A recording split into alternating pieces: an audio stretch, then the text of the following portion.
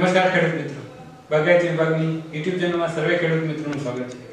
ખેડૂત મિત્રો, આજે આપણે વાત કરવાની છે આંબા પાકમાં જે ફ્લાવરિંગ ખરણ થતું હોય છે, મોર જે બંધારણ થયા પછી ફળોમાં ખરણ થતું હોય છે, એ ખરણ થવાની પાછળ કયા કયા કારણો જવાબદાર છે અને આ ખરણને અટકાવવા માટે કયા કયા પગલાં લેવા તો સૌપ્રથમ વાત કરીએ તો આપણે એક વર્ષ પહેલા વીડિયો મૂકેલો હતો, જે નીચે ડિસ્ક્રિપ્શનમાં પણ આપેલો છે. કે આની જે મોર પદ્ધતિ છે, એમાં એક પેનિકલ એટલે કે એક ઇન્ફ્લોરેસિસમાં આશરે 500 થી લઈને 5000 6000 સુધી ફ્લાવર આવતા હોય છે. એ વેરાયટી વાઇઝ અલગ અલગ એનો રેશિયો હોતો હોય છે. મિનિમમ 2000 ફ્લાવર લઈએ આપણે તો 2000 ફ્લાવરમાંથી જે 1600 જેટલા ફ્લાવર છે, એ નર ફૂલો હોય છે. અને 400 ફૂલ છે એ હર્મેફ્રોડાઇટ એટલે કે એમાં નર અને માદા મેલ અને ફિમેલ ગેમેટ્સ એક જ ફ્લાવરમાં હોય છે. એટલે કે નર અને માદા ફૂલ સાથે હોય છે. હવે આ જે 400 ફૂલ છે, એનું યોગ્ય વાતાવરણની હાજરીમાં, યોગ્ય મિત્ર કીટકોની હાજરીમાં, આનું પોલિનેશન એટલે કે ફલિનીકરણ થશે પરાગનયન થશે. ત્યાર પછી 101 જેટલા દાણા બંધાશે, જે દાણા રાઈ કરતા થોડા મોટા દાણા હશે, આપણે નરી આંખે જોઈ શકીશું. એ દાણા બંધાયા પછી એનો કુદરતી રીતે ખરણ થશે. 40 થી 50 દાણા છે, એ મગ જેવડા થશે. ત્યાર પછી ફરી પાછું કુદરતી રીતે ખરણ થશે. 20 થી 25 છે એ વટાણા જેવડા દાણા થશે. ત્યાર પછી ફરી પાછું કુદરતી રીતે ખરણ થશે.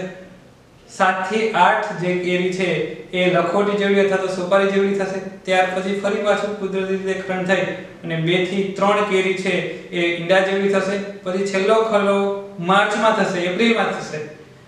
અને છેલ્લે આપણને એક પુષ્પવિન્યાસ દીઠ એક કેરી મળશે.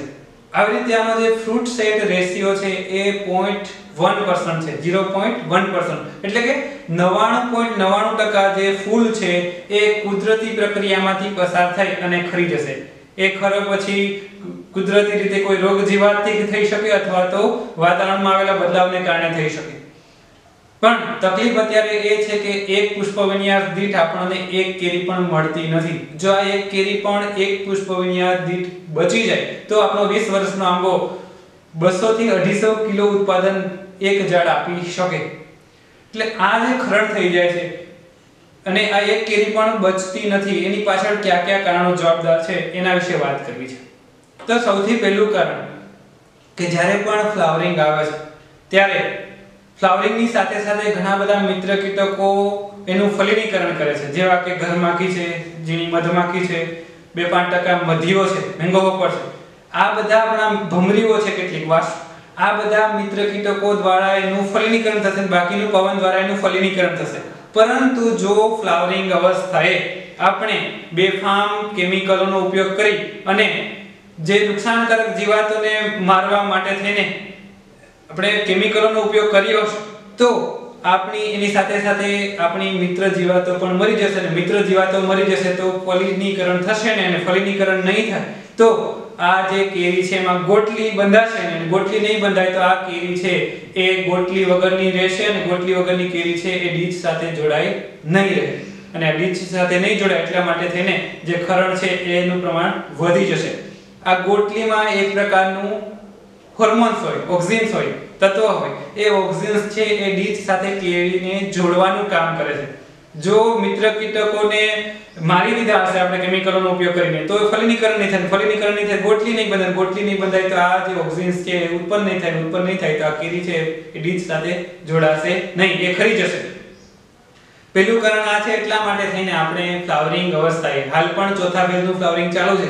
ફ્લાવરિંગ અવસ્થાએ આપણે ભલામણ મુજબ જ જૈવિક નિયંત્રકોનો ઉપયોગ કરવો જોઈએ. જો રોગ જીવાતનું પ્રમાણ વધારે હોય તો અથવા તો 15 થી 20 દિવસ સુધી જે કેમિકલો છે એનો છંટકાવ ટાળવો જોઈએ. સારું ફલિનીકરણ કરવા માટે થઈને, સારું ફ્રૂટ સેટિંગ કરવા માટે થઈને. આ થઈ ફલિનીકરણની વાત. બીજું કે જ્યારે ફ્લાવરિંગ અવસ્થા હોય ત્યારે તાપમાનમાં દિવસ અને રાત્રિમાં 15 થી 20 ડિગ્રીનો તફાવત હશે. તો આ જે કેરી છે એના ખરના પ્રશ્નો વધી જશે. પોલન છે એ વાયેબલ રહેશે નહીં, વધારે પ્રમાણમાં તાપમાન રહેશે તો. અને બીજું એક કારણ એવું છે કે કેરી જ્યારે વટાણા જેવી હશે અથવા તો માર્બલ જેવી હશે, ત્યારે પણ જો તાપમાનમાં વધારો થશે તો એ જે બીજ છે, ત્યાં એપ્સિસિન નામનું જે હોર્મોન્સ છે, એ પેદા થવાને કારણે આ જે કેરી છે, એ બીજ સાથે જોડાઈ નહીં શકે, એનું ખરણ થઈ જશે. એટલા માટે જો વધારે પ્રમાણમાં તાપમાન રહેશે, તો ખરણના પ્રશ્નો વધી શકે. બીજું એક મહત્વનું કારણ એ છે કે આ તાપમાનને નિયંત્રણ કરવા માટે થઈને આપણે કેરી જો વટાણા જેવી હોય તો આપણે પિયત આપી શકીએ. આ પિયત પણ આપણી જમીનના પ્રત પ્રમાણે આપણે આપવાનું છે. ડ્રીપથી જો તમે પિયત આપો તો વધારે સારું છે. ડ્રીપથી પિયત આપવાથી સૌથી મોટો ફાયદો એ થશે. અમે ગયા વર્ષે ઓબ્ઝર્વ કર્યું છે એ મુજબ કે હવાનું એર સર્ક્યુલેશન ચાલુ રહેશે, પોષક તત્વોની આપલે ચાલુ રહેવાને કારણે જમીન છે પોચી અને ભરભરી રહેશે. તો જે કેરી ખરના પ્રશ્નો છે એ ઓછા થશે. જ્યારે પણ માર્ચ, એપ્રિલ મહિનામાં તાપમાન વધતું હોય, ત્યારે ખાસ કરીને જે આલ્ફાન્સો જેવી જાતમાં સ્પોન્જી ટીસ્યુ થતી હોય છે, આ પણ વધારે પ્રમાણમાં જો ગરમી થશે તો આ જે સૂર્યપ્રકાશના કિરણો જમીન પર આવશે જમીન પરથી જે કિરણો છે એ પરાવર્તન થઈને સીધા જ કેરી પર પડશે અને કેરી પર જ્યાં એ કિરણો રિફ્લેક્ટ થશે, ત્યાં એક સ્પોન્જી ટીસ્યુ એટલે કે એક ચાંદી પડશે, એક એક ડાઘ પડશે અને ત્યાંથી કેરી છે કોહવાઈ જશે. તો આ વસ્તુને અટકાવવા માટે થઈને આપણે જમીન પર ઓર્ગેનિક મલ્ચ કરી શકીએ બંને જે લાઈન છે આંબાની લાઈન છે, એની વચ્ચેનો જે ગેપ છે, ત્યાં આપણે છૂટું પિયત આપી શકીએ, સાથે સાથે ડ્રીપથી પણ પિયત આપી શકીએ અને જે ખુલ્લો ભાગ છે, જે બે આંબા વચ્ચેનો ખુલ્લો ભાગ છે, ત્યાં આપણે ઓર્ગેનિક મલ્ચમાં આપણે ઘઉંનો પરાળ છે અથવા તો શેરડીની પતારીથી આપણે ઓર્ગેનિક મલ્ચ કરી અને આપણે આપણી કેરીને ગરમીથી જે નુકસાની થાય છે, જે હીટથી નુકસાની થાય છે અથવા તો સ્પોન્જી ટીસ્યુ જેવા રોગ લાગે છે, એનાથી બચાવી શકીએ અને જે પીળી કેરી થઈને ખરી જાય છે, એના પ્રશ્નો પણ ઘટાડી શકીએ. બીજું એક અગત્યનું પરિબળ છે પવન, કે જ્યારે નોર્મલ પવનની ગતિ હોય છે 10 થી 15 કિલોમીટર પ્રતિ અવર આનાથી 20 થી ઉપર જશે. ફ્લાવરિંગ સમયે જો 20 25 ની ઉપર પવન જશે, પવનની સ્પીડ જશે કિલોમીટર પ્રતિ કલાકના, તો પણ જે પોલન છે એની વાયબિલિટી ઓછી થઈ જશે અને ફળ ખરના પ્રશ્નો વધી જશે.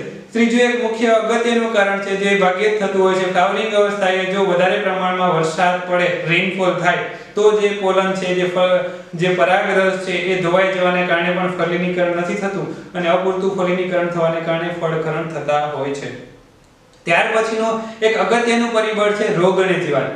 જીવાતની વાત કરવામાં આવે તો સૌથી અગત્યનો છે મધ્યો જો મધ્યાનો ઉપદ્રવ ફ્લાવરિંગ અવસ્થાએ અથવા તો ફળ બંધારણ સમયે હશે, તો લગભગ 60 થી 70% સુધી નુકસાની આ મધ્યો એટલે કે મેંગો હોપર કરી શકે છે.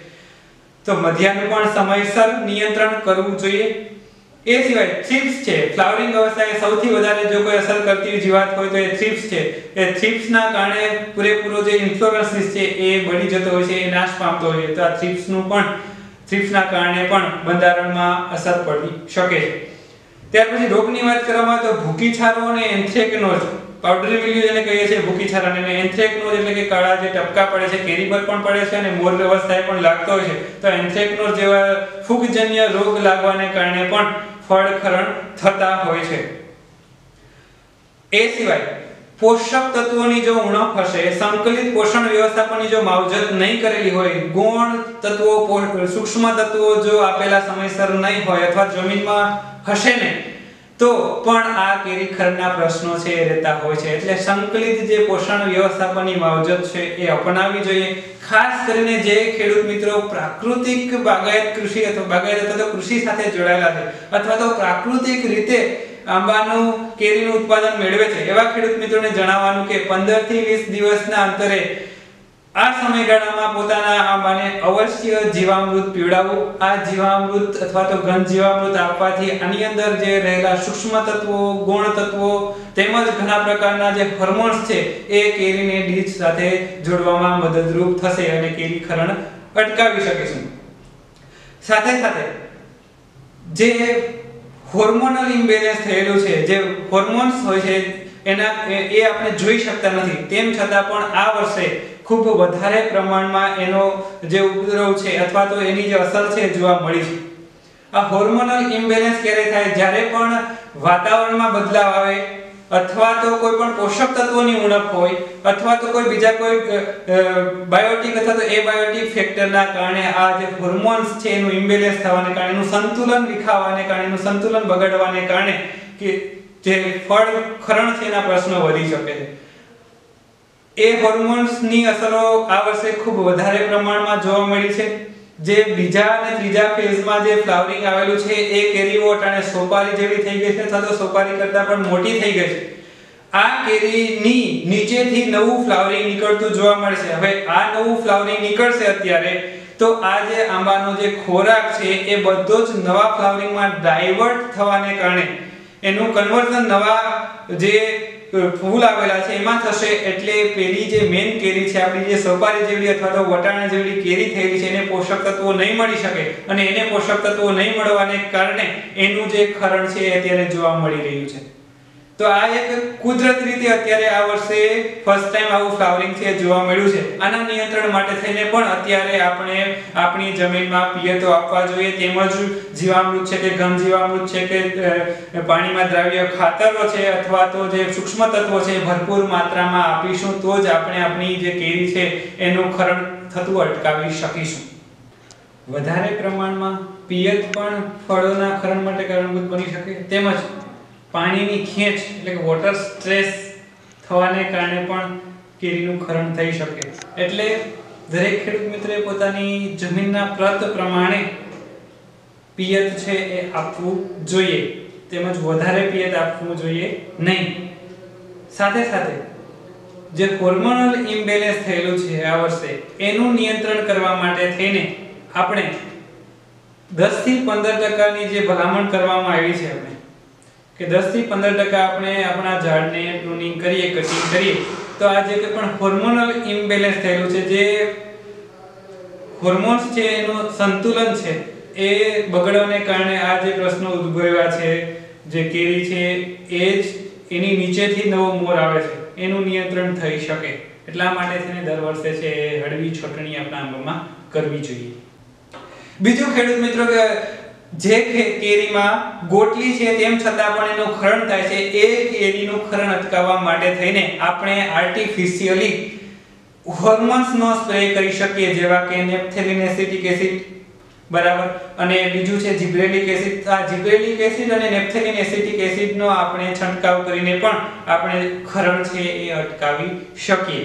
તો ખેડૂત મિત્રો, કોઈ એક કારણ જવાબદાર નથી, ફળ ખરણ માટે થઈને એટલા માટે થઈને નીચે ડિસ્ક્રિપ્શનમાં જે વિડિયો આપેલો છે, એ પણ જુઓ. એમાં આપણે એ જ વાત કરેલી છે કે યોગ્ય સમયે સંકલિત રોગ, જીવાત, પિયત અને પોષણ વ્યવસ્થાપન જો અપનાવીશું, તો આપણું ઝાડ છે તંદુરસ્ત રહેશે. અને જો આપણું ઝાડ જેટલું તંદુરસ્ત રહેશે, એટલા આપણા ઝાડમાં રોગ અને જીવાતના પ્રશ્નો પણ ઓછા રહેશે. સાથે સાથે ફળ, ખળના પ્રશ્નો પણ ઓછા થશે. આભાર.